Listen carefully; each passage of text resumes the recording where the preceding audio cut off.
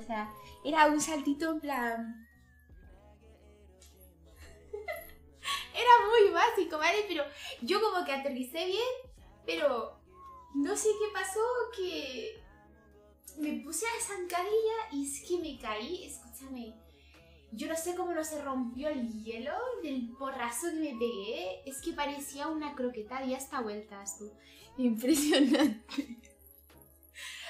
Es que ya sé caerme, o sea...